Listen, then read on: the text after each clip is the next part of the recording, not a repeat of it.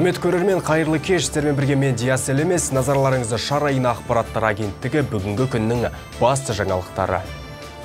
Азғындық жасаған жан жазадан сытылып кетема деп алаңдаулы. Өзгеден зорлық көрген 15 жасар қыздың туыстары Теміртау прокуратурасының әрекетіне наразы. Оңтүстік шығыстағы бір аула тұрғындары қоқыс алаңының ұлғаюына наразы. Бірнеше тоғыз қабатты үйдің контейнерлерінің жинап, оларды терезе алдына әкеп қойған. Жылдың үздік суретшісі Қуат Асқаров бейнелеу өнері мұражайында өзінің жеке көрмесін өткізді.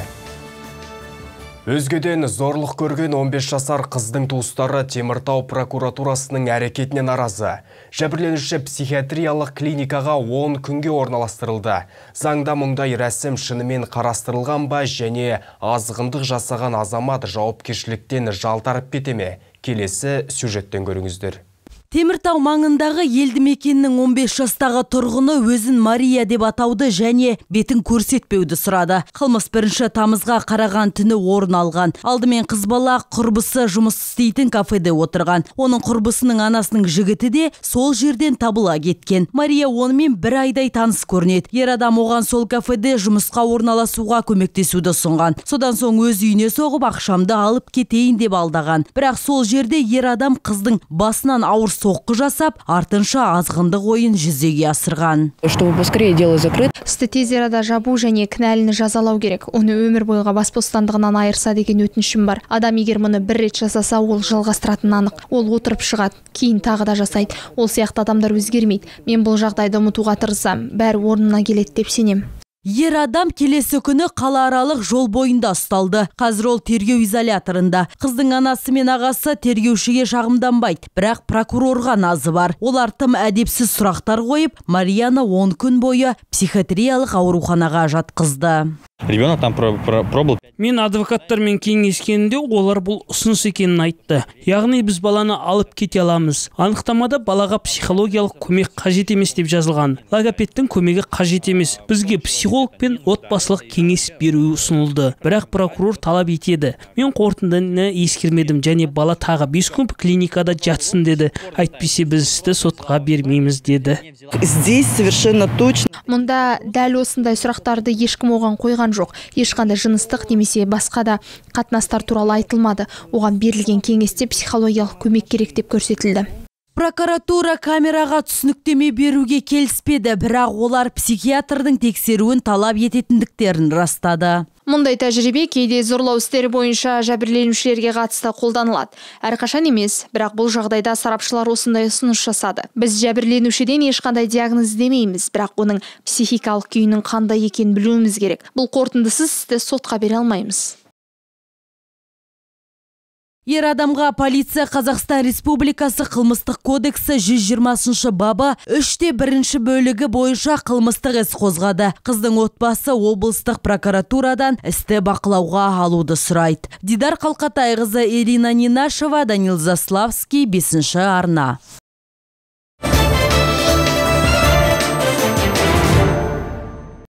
Теміртауда қиын өмірлік жағдайға тап болғандар үшін алғашқы мемлекеттік дағдарыс орталығы ашылды. Елу орынды дағдарыс орталығын ашуға бүгінде дайырланып жатыр. Ал Ақтау кентінде жаңа су құбыры тартылуда. Орталықтандырылған су құбыры қажет деп мәселе көтерген тұрғындар сұрауына орай құбыр жолы төселуде. Облыс әкімі серіктес қаладағы сапары барысында әлеуметтік нысандарды аралап жағдаймен танысты теміртау маңайындағы ақтау кентінде қазірдің өзінде 350-ге жуық отбасы орталық сумен қамтамасыз етілді. Мұнда құрылысы қарқынды жүріп жатқан жаңа су құбырына 243 үй қосылған. Шенеуніктер барлық жұмыстарды 2024 жылы аяқтауды жоспарлап отыр. Сонда 900-ден астам тұтынушы сапалы ауыз суға қол жеткізеді дейді. Қазір үш жақтан үш бүкіл жерде жұмыс істеп жатыр. Бірден және бір объект қосып төртеу істеп жатырмыз өйткені биыл деп жатырмыз. отыз бес иә отыз бес адам істеп жатыр аймақ басшысы осы бағытта істелген жұмыстарды тексеріп жергілікті тұрғындармен әңгімелесті. Биыл ақтауда екі қабатты 15 үйдің шатыры мен қасбеті жөнделді. Алдағы уақытта шенеуніктер осындай тағы он ғимаратты қалпына келтіруді көздеп отыр. Крышу сделали, фасады более уже покрасили. Все равно на солнышке красиво смотрится. Ну, уже солнышко красиво смотрится. Пусть теперь надо дворы свои держать. В порядке, чтобы там не сорили, не это, тоже, это, это тоже уже от вас зависит. сондай ақ биылғы жылы ақтауда 8 шақырым жолға асфальт төселіп жаяу жүргіншілер жолы жасақталыпты тұрғындардың өтініші бойынша спорт және балалар алаңы да жасалды бүгінде көпшілік кентке газ тарту қажеттігін айтып өтініш білдіруде Магистраль пришла. Да. Сейчас вот Караганда, вот зашли, Темиртау зашли. Сейчас вот будем отделение, вот э, Аким города говорит, там в проекте у нас 26-27 годы стоят. До 26 года. теміртау шаһарындағы тағы бір айтулы іс бұрынғы онкологиялық диспансер ғимаратында ендігіде дағдарыс орталығы ашылғалы отыр. Қазір мұнда жөндеу жұмыстары қызу жүріп жатыр. Қараша айында орталық қызметін бастауы тиіс. Тағдыр тауқыметін тартқан адамдар орталықта бір жыл тұруына болады. Төрт мезгіл тамақ беріледі дейді әсел нәбиева. Планируется оказывать психологическую бұл нысанда қазір жөндеу жұмысы жүріп жатыр. Қиын жағдайға душар болған отбасыларға зорлық зомбылыққа тап болған жандарға психологиялық әлеуметтік көмек көрсетіледі. Қажет болған жағдайда ата аналарды қайта оқыту даярлау жұмысқа орналастыру да көзделген. Балаларға да психологиялық көмек ұсынылады және балаларды мектепке жеткізуге автобус қарастырылған. Айта кетейік бұл теміртауда ашылған алғашқы мемлекеттік дағдарыс орталығы болмақ. Орталықта мұқтаж жандарға өмірін жақсы жаққа өзгертуге көмектеседі. Орталықты қараша айында ашуды жоспарлап отыр. Бақытгүл матуова серік тоғаев николай шевелев бесінші арна. Іріктеудің алғашқы кезеңдер аяқталды. Мемлекет басшысының тапсырмаларын іске асыра отырып, елімізде биыл кезекті рет президенттік жастар кадрлық резервіне кандидаттар іріктелуде. Қарағандылықтар алғашқы кезеңнен сәтті өтті және енді келесі кезеңдерден өтуге дайындалуда. Толығырақ сюжетте. Ғалия әбішкен 28 жаста шет ауданынан шыққан политехникалық университетті биотехнология мамандығы бойынша бітірген. Қазір қазақстан республикасы ауыл шаруашылығы министрлігі қарағанды облыстық аумақтық инспекциясының өсімдіктерді қорғау жөніндегі мемлекеттік инспекция бөлімінің бас маманы болып жұмыс істейді. Жұмыс ұнайды бірақ президенттік жастар кадрлық резервіне кандидаттарды іріктеуіне қатысуға шешім қабылдады. Осы жылдың тамыз айында ә, мен осы ә, қазақстан республикасының мемлекеттік қызмет істері агенттігінің қарағанды облысы бойынша департаментінің жас мемлекеттік қызметшілермен кездесуіне қатысқан болатынмын. Сол кездесу кезінде ә, осы президенттік жастар кадрлық резерві ә, іріктеу болатындығы ә, оның талаптары жайлы айтылған болатын.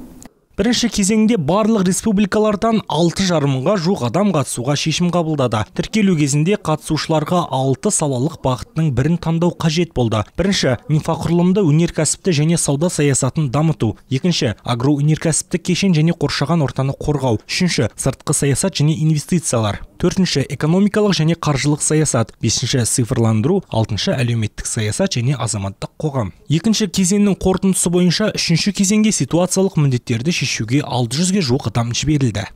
Үшінші кезең ол ә, ситуациялық тапсырманы шешу деп аталады.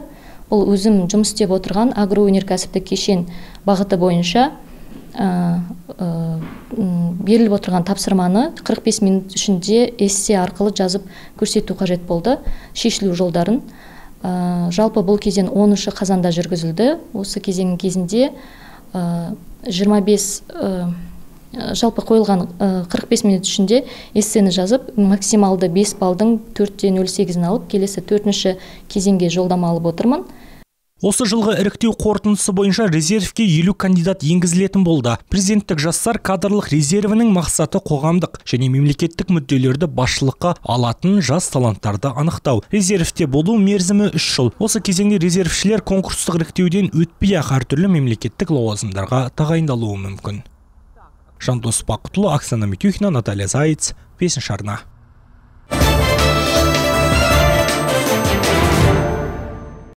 Доске елді мекенінің тұрғындары қараңғыдан қажыған. Қарағандыдан 5 минуттық жерде орналасса да тоққа жармай отыр.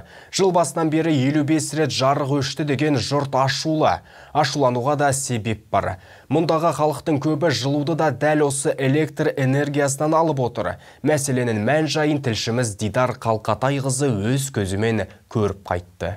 Но вы поймите, вот даже 10 было авария, планово отключили, плюс авария, у меня аккумулятор не выдержал, я ночью побежал, снял с машины, и он у меня в ноль высосал, и пока, и все равно света не было. И другой вопрос, вы говорите, 55 отключений было уже, год еще не кончился. И вот просто посчитайте по вашим отключениям, по вашему отчету, что наша улица Садовая больше всего страдает. Венера Садвакасова мұндай өмірден шаршағанын айтады. Үш жыл бұрын туған жеріне қайта қоныс аударған Венера балаларын ауылдық жерде өсіремін деп қуанған. Алайда жарықсыз өсіремін деп ойламапты. Енді бірінші жыл біз тұрған кезде ешқандай ә, свет өшіру деген мәселе ондай болған жоқ. Осыдан екі жыл бұрын ә, қыс болсын жаз болсын күз болсын көктем болсын ылғи бір аптада үш рет светті өшіреді енді биылдан бастап телеграм чатты әкім создавайттағаннан кейін ә, бізге хабарлама келіп тұрады. Міне біз сондай күні өшіреміз деп біз күтіп отырмыз енді балам менде ә, смесь ішкеннен бері біз ә, жаңағы термосқа ыстық суды құйып алып отырамын Жарықсыз су беретін сорғы да істемей қалады. Бұл тұрғыда тұрғын үй иелері ғана емес, мектептер мен балабақшалар да зардап шегіп отыр. Балабақша директоры жарықты ең құрығанда сағат 11-де өшіріңіздерші деген өтінішін айтты. Әйтпесе көп жағдайда балғын бөбектер аш қалып жүр екен.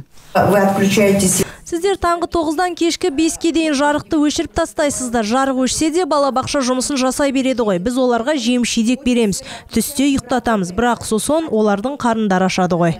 Энергетика саласының қызметкерлері жарықтың жиі сөнуінің себебі жөндеу жұмыстарынан дейді. Алайда Доскей тұрғындары екі жыл бойы бітпейтін не жөндеу екенін түсінбейді ал. Мы ежегодно проводим ремонтные программы.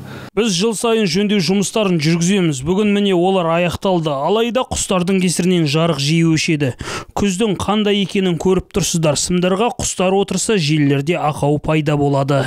Бұхар жырау ауданы электр жабдықтау бөлімінің басшысы Анатолий Ким енді Доскейде жоспарлы жарықты өшіру болмайды деп уәде етті. Бірақ та жел тұрса бізде оны болжай алмаймыз дейді. Осы жылдың 4-ші тоқсанында халық қалаулары қарашамен қайтадан жолығатын болады. Ал 2024 жылы трансформаторларды ауыстырады. Дидар Қалқатайғызы, Зұлқарна Есмахаев, Данил Заславский, 5 арна.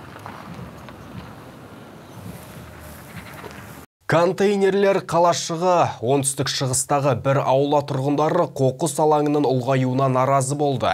Бірнеше тоғыз қабатты үйдің контейнерлерін жинап, оларды терезе алдына әкеп қойған. Гүлдер бір шағын ауданының 5-ші, 6-шы, 1-ші және тағы басқа дүкендері осы қоқыс жәшігін пайдаланып келген. Төрт жәшіктен тұратын қоқыс алаңы ауланың көркін қашырып, жағымсыз иіс жан жақты алып кеткен. Бұның бәріне жұртшылық көнді, алайда жақын күндері контейнерлердің саны көбейіп кеткен. Это 4 контейнера, представьте. Міне төрт қоқыс жәшігі енді ойлап қараңызшы, оны төрт есе көбейтіп жатыр. Мына аула не болмақ? Қыста жарайды, ал күн ысыған кезде біз мына жерде қалай өмір сүреміз? Коркомтранс қызмет көрсететін компанияда контейнерлер мен алаңдардың меншік иесі. Аудан әкімдігінің қарамағында контейнерлерге арналған орынды таңдау мәселелері түсіндірілді. Сондай-ақ аулалардағы көліктердің көптігіне байланысты кіреберістегі контейнерлерге қоқыс таситын көліктер мен қызмет көрсете алмайтындықтарын айтты. Шынында да тұрғындардың өздері қоқыс машинасы көлікке зақым келтіріп жүгіріп жүрген балаларға қауіпті екенін ашып айтты.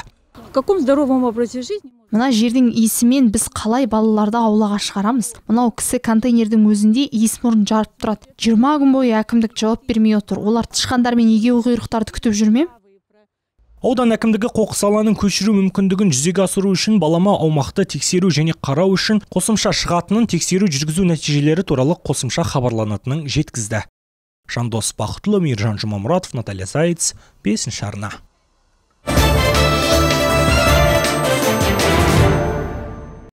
Сергек бейне бақылау камерасы эксперименталды түрде автобусқа орнатылды. Темір тұлпар тізгіндегендерді таң тамаша қылған қоғамдық көлікке жүктелген тапсырмағандай. 33-ші бағыттағы автобусқа камера орнатылды. Камераның міндеті Қарағанды көшелеріндегі көліктер қозғалысын бақылау. Жоба Қазақстан Республикасы ішкі істер министрлігімен келісе отырып жүргізілуде. Бұл ақпаратты Қарағанды облысының полиция департаменті де растап отыр. Мамандар әзірге тәртіп бұзушыларға айыппұл салынбайтынын түсіндірді. Айта кетейік, жоба тек сынақтан өткізіліп жатыр. Дегенмен жол сақшылары жүргізушілерге жол қозғалысы ережелерін сақтауды ескертеді. Қарағандының орталық мәдениет және демалыс саябағында республика күніне орай ағаш отырғызу бойынша тазалық кубогы экологиялық акциясы өтті. Біздің түсірілім тобы барып қайтты. Күздің соңғы жылы күндерін ұтымды пайдаланып оқушылар колледждер жоғары оқу орындарының студенттері депутаттар қоғам қайраткерлері және мемлекеттік қызметкерлер мүше болған 150 адамнан тұратын команда туған қалаларын көгалдандырып безендіре отырып жаңа қылқан жапырақты екпелер отырғызды.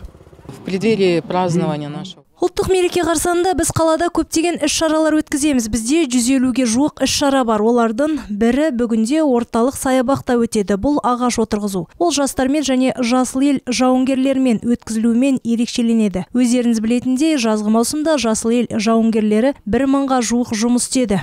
Және оның қорытындысын орталық саябақта ағаш отырғызып өткізуде. Акцияны ұйымдастырушылар қарағанды қаласының жастар ресурстық орталығы. Іс шараның басты мақсаты жастардың экологиялық мәдениетін арттыру сондай ақ табиғатқа ұқыпты қарауды қалыптастыру қоршаған ортаның тазалығын сақтау және қаладағы экологиялық жағдайды жақсарту. Бүгін қарағанды қаласының орталық саябағында еліміздің ұлық мерекесі республика күніне арналған мынау үлкен бір іс шара өтіп жатыр. Бұл ағаш көшеттеріне отырғызу. Міне бүгін осы орталық саябаққа бүгінгі жастар кешегі жазғы уақытта жасыл ел жасақтарына қатысқан жастарымыз жастар ресурс орталығы ардагерлер депутаттар бар.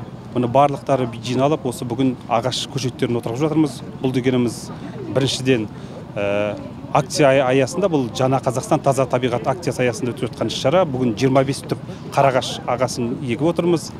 Сонымен қатар жастардың арасында әртүрлі викториналық ойындық сұрақтар жүргізіп арнайы сый сияпаттармен жатыр. Келесі аптада әлихан бөкейхан мен қазыбек би аудандарында дәл осындай акция өтеді. Ал бүгінгі шараның үздік қатысушылары жүлделі орындармен марапатталды. Еркеғали бекболат серік тоғаев наталья заяц бесінші арна. Жылдың үздік суретшісі жерлесіміз Қуат Асқаров бейнелеу өнері мұражайында өзінің құнды туындыларын топтастырылған мерейтойлық жеке көрмесін өткізді. Көрмеге қойылған туындылардың көпшілігі халық назарына алғаш рет ұсынылып отыр. Толығырақ тілші бейне материалында. Қуат асқаров халықтың рухани көркемдік дәстүрлері арқылы қазіргі өмірді ұғыну жолында үнемі жаңа мән мағыналармен толықтыра алатын негізге айналған ұлы тақырып суретшісі. Теміртаулық суретші 60 жылдық мерейтойына орай әлем бесігі атауымен жеке көрмесін ұйымдастырып отыр. Көрмеге 20-ға жуық картина қойылған автор қазақ мифологиясының образдары мен сюжеттерін аллегориялық интерпретациялауға жүгіне отырып өзіндік көркем бейнелеу құралдарын жасады. Суретшінің картиналары шын мәнінде қазақ мәдениетінің рухымен сусындаған терең философиялық мағынаға толы және көп мағыналы таңбалармен байытылған. Бүгін маған мерейтой болып жатыр мен төрт жыл дайындалдым. Осы көрмеге жұмыстарымды салып сақтап сатпай дегенде себебі алпысқа келіп отырмын бүгін. Мен осы көрме арқылы біздің халқымыздың мәдениетін әдет ғұрпын көрсеткем келді. Суретші дәстүр мен жаңашылдықты классикалық пен заманауилық үйлесетін ұлттық болмыстың жаңа формаларын іздейді. Суретшінің туындылары қазақ халқының бай мәдени мұрасын дәріптейді. Туған жерге деген сүйіспеншілік пен құрметті көрсетеді. Жоғары көркемдік шеберліктің жарқын үлгісі. Қуат негізінен патриот суретші деп айтар едім. Неге өйткені осы жұмыстары арқылы өзінің отанына ата анасына сүйіспеншілік отбасын әкесін анасын құрметтеуді насихаттайтын жұмыстар өте көп. Қазақ халқының жеті қазынасы яғни қыран бүркіті тұлпары бес қаруы осы көрмеден көруге болады.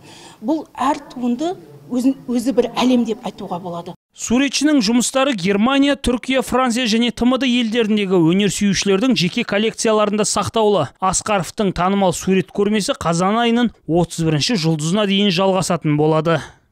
Жарылғап жағыпар мейіржан жұмамұратов николай шевелев бесінші арна.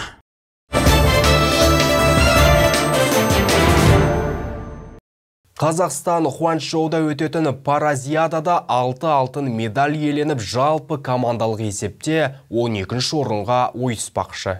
Ұлттық құрама сапында 131 спортшы бар, ал олар 14 спорт түрінен медальға таласады. Біздің спортшылар осы жолы ботша және таеквондодан бірінші рет бақ сынап көрмекші. Бұған дейін қазақстандықтар пауэрлифтинг, волейбол, ескек асу, шахмат бойынша тамаша нәтижелер көрсеткен. Жалпы Паразиада да 564 медаль жиынтығы сарапқа салынады. Ұлттық құраманың керек жарақтарына келетін болсақ, форма бойынша спортшыларға өткен Азия ойындарындағыдай жағдай жасалған Қарағандыда КСРО-ның еңбек сіңірген жаттықтырушысы Аманша Ақпаевты еске алуға арналған ұлдар мен қыздар арасындағы еркін және әйелдер күресінен 17-ші республикалық турнир аяқталды. Тілші тарқатсын. Жерлес тұлғамыз Аманша Ақпаевтың құрметіне арналған 17-ші дәстүрлі республикалық турнир қанағаттандырарлық деңгейде өтті. Жарысқа Қазақстанның түкпір-түкпірінен 150 қатысушы бақ сынады. Тіпті Якутиядан арнайы қонақтар да келді. Сейчас развивается женская... Бұрынғы әлем чемпионаттарындағы олимпиададағы нәтижелерге қарағанда қазір әйелдер күресі айтарлықтай алға жылжып келеді. Бүгінгі жарысқа шын мықты жеңіске жетсін деп тілейміз. Халықаралық федерация ережелеріне сәйкес турнир екі күн өткізілді. Бұл жолы әйелдер күресіне ерекше мән берілді. Көптеген мектеп оқушылары алдыңғы орындарды иелену мақсатында өз күш жігерлерін салды. Мен осы жарысқа бір екі айдай дайындалдым интернатқа түскеннен кейін намыстарында турнир намыс деген жарыста бірінші орын алдым. Түркістанға бардым қостанайға бардым. Көптеген жарыстарға бардым турнирларға. Енді осы жарысқа чемпион болғанда келдім.